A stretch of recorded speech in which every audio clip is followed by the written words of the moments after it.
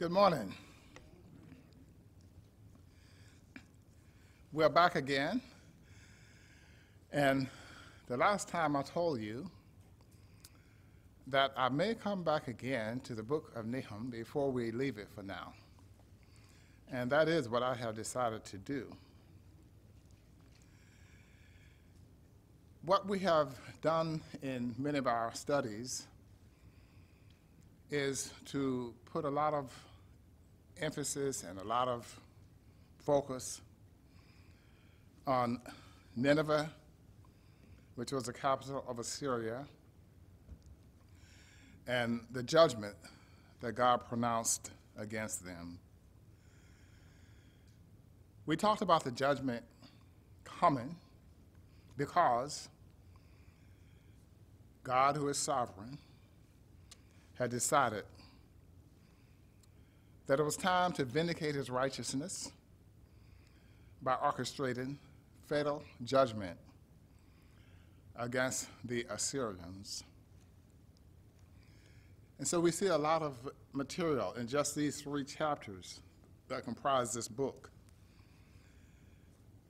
And so we can't escape details and all those things regarding Assyria when we read through here.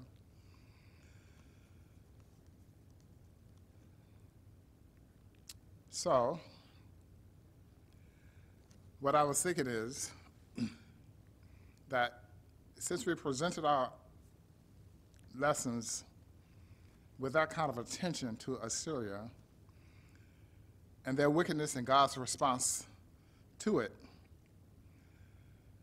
that when we saw the slow to anger God and that he was going to display his power in judgment, illustrated by reason and explanation. That's what we were, we looked at all of that. And we looked in some detail at that material.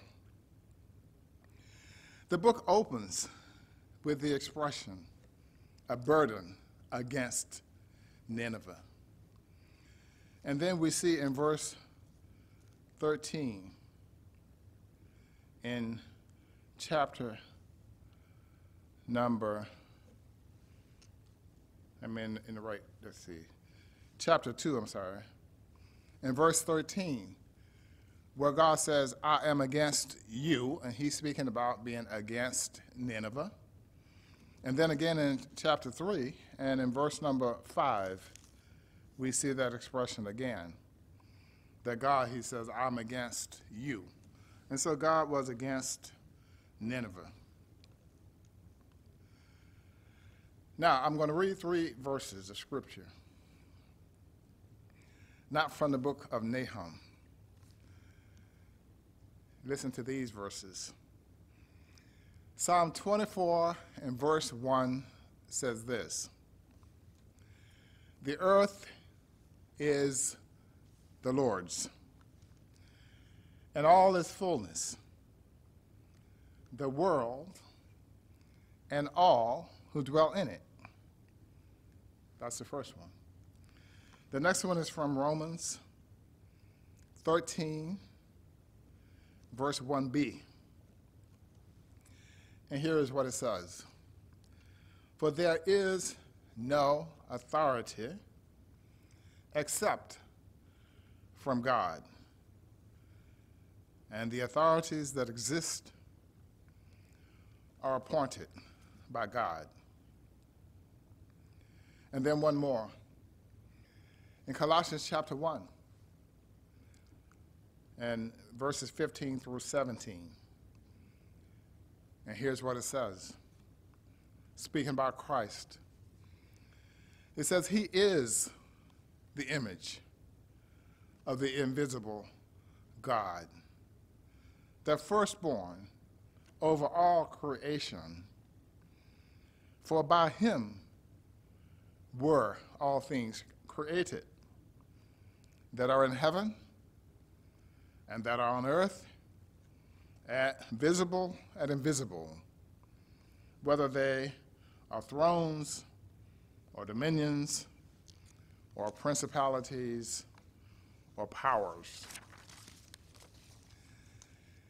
You might say, what does that have to do with Nahum? Here's what I thought. What if we consider these verses as a preamble to the book of Nahum? What if we did that? These verses provide a broader context for viewing the content that we have been studying in the book of Nahum. It would help us at the outset to see that there is more going on in the book of Nahum than a presentation about a wicked nation, Assyria, exceeding the bounds of God's grace and mercy. If we consider these verses as a preamble, then we see that more is going on than that. Although that is very significant, don't get me wrong in, in that. But what I want us now to do for a little bit, for a few, few minutes, several minutes here, is to consider in this book of Nahum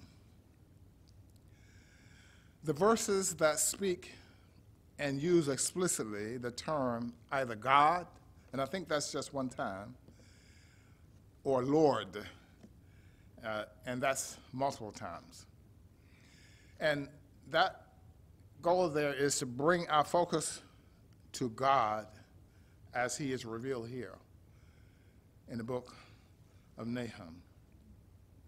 So, what I'm going to do now is read through verses selectively that have those specific words in them. And then I'll make a few remarks with regard to that. So now, we begin now again in verse number one of chapter one. And I think through verse 3 is the begin of the first section where the Lord is mentioned. And I'm just going to read it, and then we'll, we'll consider. So, beginning at verse 1, chapter 1, the burden against Nineveh, the book of the vision of Nahum, the Elkoshite. God is jealous and the Lord avenges. The Lord avenges and is furious. The Lord will take vengeance on his adversaries, and he reserves wrath for his enemies. The Lord is slow to anger and great in power, and will not at all acquit the wicked. The Lord has his way in the whirlwind and in the storm, and the clouds are the dust of his feet. The next verse we're going to is verse number seven, still in chapter one. This verse says, The Lord is good a stronghold in the day of trouble, and he knows those who trust in him. The next one is in verse number nine.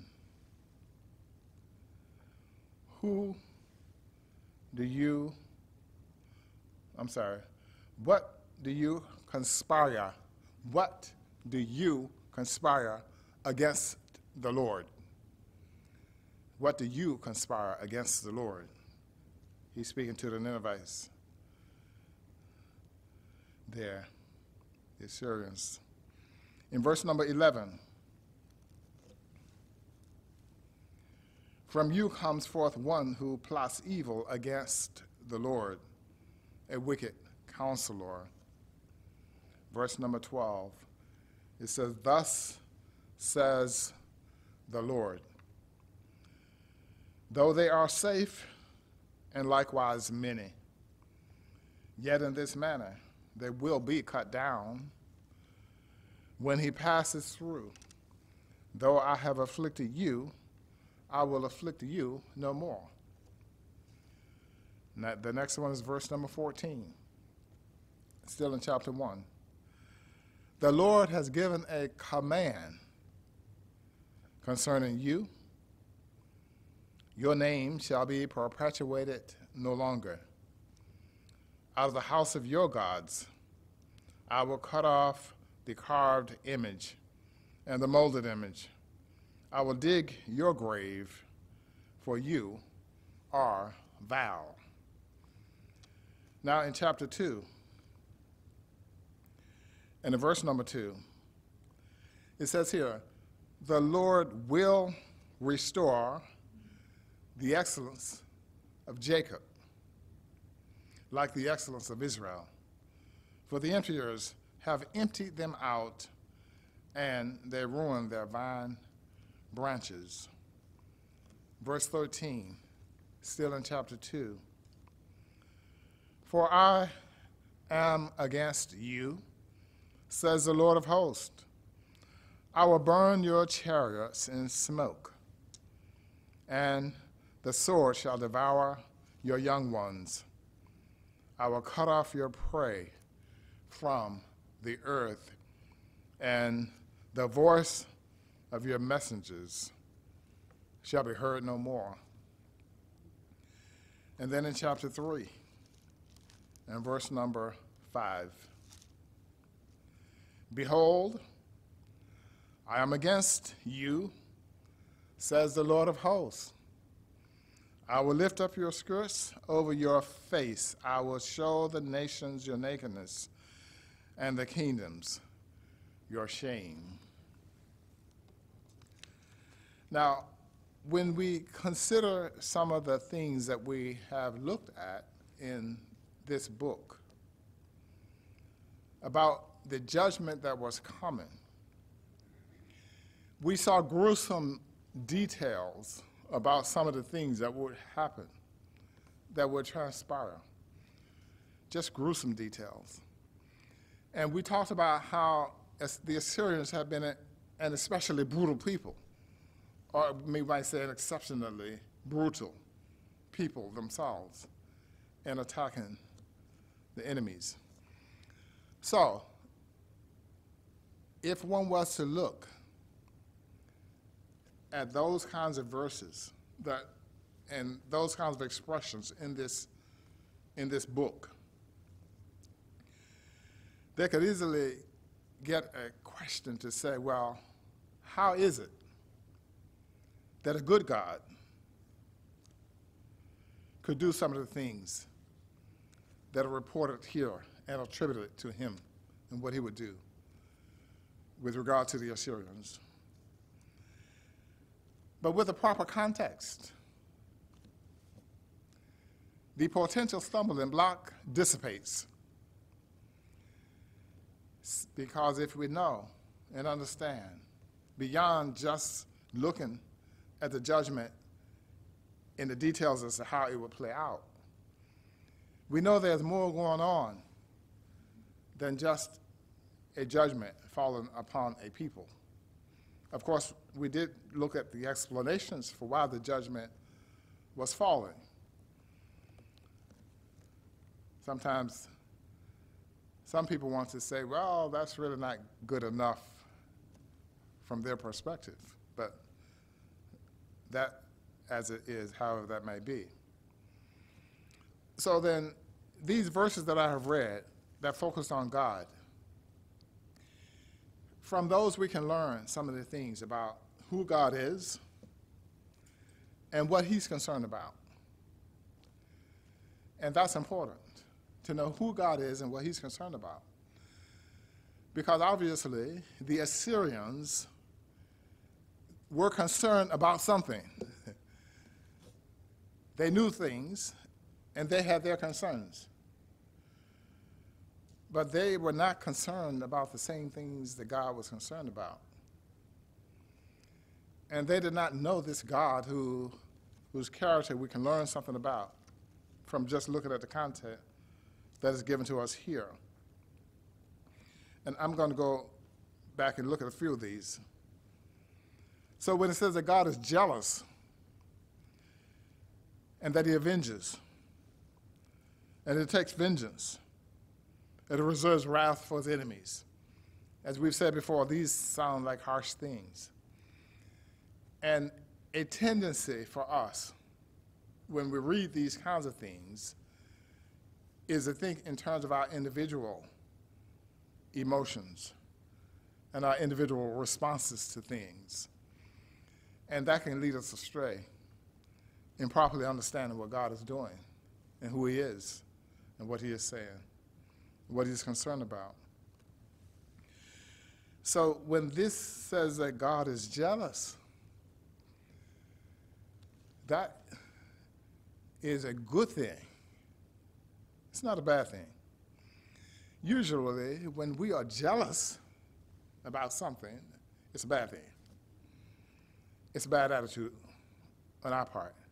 But for God to be jealous, it's good because that means that that's his object of love, like Israel, the apple of his eye. And so he takes special care, special concern, and he will avenge those who mistreat and do them wrong. And he says that he will. And so we know then that God, so that's a character trait of God, that those whom he loves, he's protective of them. Protective. And also in verse 3 here, it talks about how it says he has his way. They talked about whirlwind, the storm, the clouds, the dust of the sea, and all that. And so this now is just put in bold relief that God is a God. It said here how, you know, he's strong and he's powerful.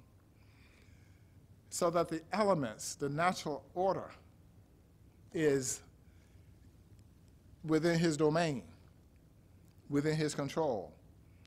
That the natural order can't do anything. Can it, well, it couldn't even come into existence apart from him. He brought it into existence. And he is a powerful God. So these things can do whatever he chooses it to do because he's God. He is God. So we're learning he is God. And then, and I just love this one in verse 7, chapter 1, where it just says, The Lord is good. How much more do we need to say? The Lord is good. He is. But there are some who find themselves in various kinds of trouble at various times. The verse also says, He knows those who trust in Him. That's, He knows. He's good, and he knows. His character is without demerit. His character is excellent, beyond any human expression of excellency. And he knows. He is the omniscient God. He knows our hearts as well as he knew the hearts of the Assyrians. That's who that God is. He says in verse 14, He has given a command concerning you. Now, if God has given a command, just be settled in understanding that what is commanded is going to happen. There's no question about that.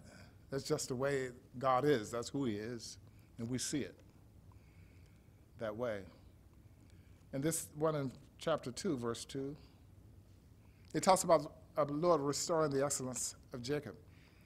And this one has brought us in to see that what God is doing is more than just bringing these Assyrians into the judgment that is right and just. But there is here a word. He is still dealing with and working with his people, his chosen ones, his elect, the people of Israel. And here's a word for them that God has something for them.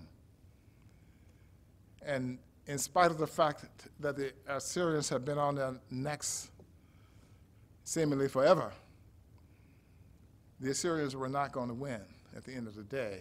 The Lord, he, he said, He will restore. It's not going to be over with when the Assyrians are done doing what they will do. And so these kinds of things help us to draw our focus back again to God and say, well, God is the important one above all else that we learn and see here. We can look at the Assyrians and we can consider all that they did, we can see the examples, and we can draw illustrations from it, and we can draw applications, not just for ourselves, but for nations, because of how God has dealt with the nation. So, one of the things, though, is is that in the midst of all of this, and another thought I had when we were thinking about a broader context, I talked about Jonah some last time. But we see the God's grace and his mercy on display. And uh, as 2 Peter 2 9, I think it says that God is not willing that any should perish, but that all should come uh, to a knowledge of his Son and to be redeemed. So God in mercy and in grace. And we saw that with Jonah, how it, these very people, within 150 years prior, God has sent that prophet Jonah with that message of repentance. That's who God is. We see what kind of God he is in that. Because if we think about that, He's, for, he, he's concerned about the people, the nation. Jonah was clear minded. He understood that the wickedness of the Assyrians deserved the judgment that God pronounced was going to come to them. He understood that. He was not misguided or misunderstanding about that.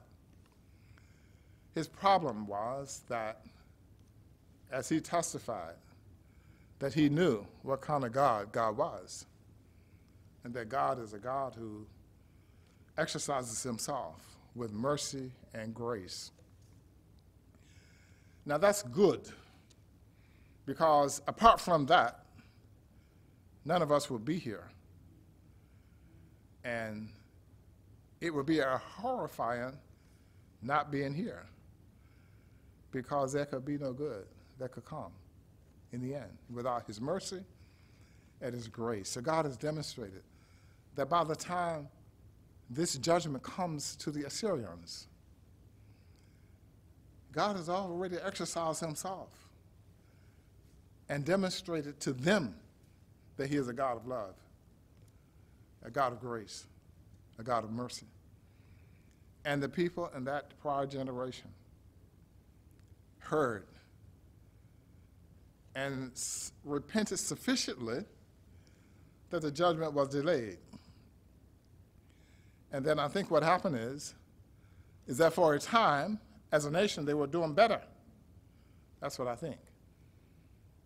And then, perhaps when it seemed that the danger had passed, they just went back to their old ways and ramped it up a notch. And so the God got to the place where he said, You have exceeded the bounds of my grace and my mercy. That's not good. If one thinks and believes that God is a God of grace and mercy, what should we do with that? Should we just carry on as if there is no getting beyond the bounds of His grace and His mercy?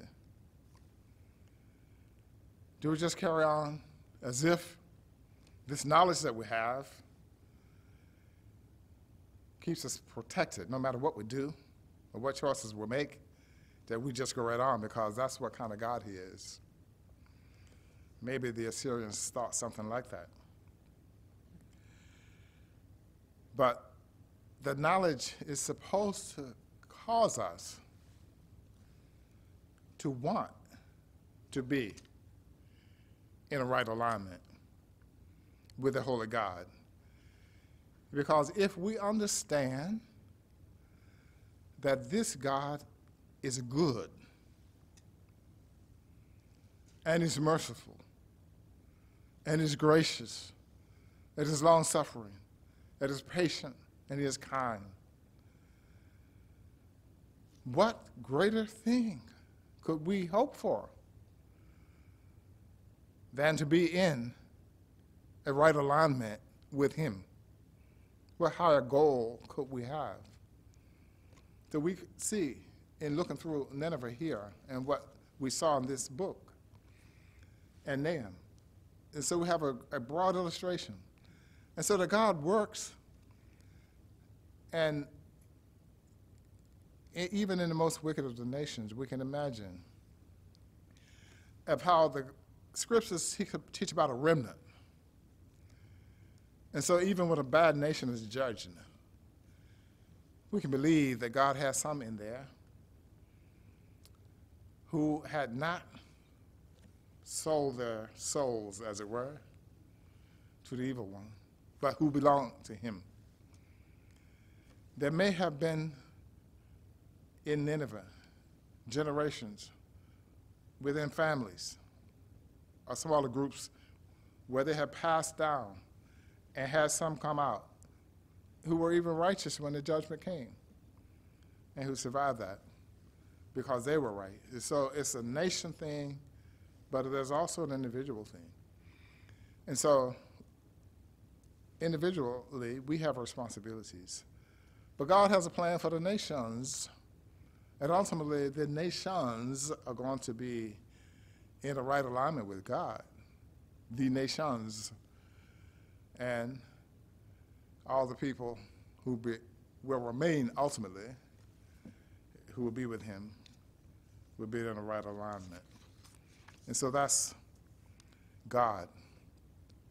And so, this whole idea then that if we think in this closing of our time addressing this book, with those verses I started with as a preamble to the book, and we look through that lens and we're considering, we have a God who created, we have a God who is sovereign, we have a God who, for him, all things were created that are, for him. But not only that, he is also sustaining everything, even the wicked who rebel against him. Where do they get the strength and the wherewithal even to be able to do that? That's from God. He has enabled them. They misused it, but without him, they even could do nothing. There's nothing that could be done. So God is God. And he's teaching us through the book of Nahum that he is God and that we should look to him. So, as I look back over this book and I keep thinking, and I keep thinking of uh, new and other things, and I keep saying, you know, I think there's a whole lot more for even me to learn, having put the time in it. I'm, I'm assuming I put more time in this than most of you have over the weeks we've been looking at it. I mean, I, I, I, I well, I, I don't even know what the hours are. And it seemed like to me, I, I'm wondering if I'm even making a, a scratch in the surface. I think part of what that means is we don't leave the book to say, okay, we're done with that one. We just leave it to say, well, we're done for this particular way of, of considering it now. But in our personal studies, we go back and continue to look, not just for this book, but all books the whole scripture because we need to keep going and keep working at it and keep looking at it. I want to close with these words. It's from a psalm that's recorded in First Chronicles, chapter 26, beginning at verse 13. And here's what it says Sing to the Lord, all the earth. Proclaim the good news of his salvation from day to day. Declare his glory among the nations, his wonders among all peoples.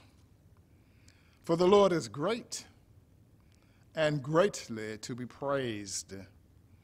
He is also to be feared above all gods and that gods is with a small case g, which means those are false gods of worship. For the gods, still lowercase g, for the gods of the peoples are idols. But the Lord made the heavens, honor and majesty are before him. Strength and gladness are in his place. Give to the Lord, O families of the peoples. Give to the Lord glory and strength. Give to the Lord the glory due to his name. Bring an offering and come before him. Oh, worship the Lord in the beauty of holiness. Tremble before him, all the earth. The world also is firmly established, it shall not be moved. Let the heavens rejoice, and let the earth be glad, and let them say among the nations, The Lord reigns. Let the sea roar in all its fullness. Let the field rejoice and all that is in it. Then the trees of the woods shall rejoice before the Lord, for he is coming to judge the earth. We will close there. And trust that this study has been, has been of some help to you as it has been to me. Our Father in heaven, we pause now again to say thank you. Thank you for your love, for your mercy, your grace, for extending that to us, each one, and for giving to us the privilege and the opportunity to have the word of the Lord, the living God, in our own language, where we can read, even without knowing the original languages, how great and wonderful is what we have through our translations. Help us to honor and to respect that word and to seek it out so that the Spirit of God can work in us with freedom to accomplish your purposes in us. We ask in the name of Christ, our Savior, with thanksgiving. Amen. Thank you much.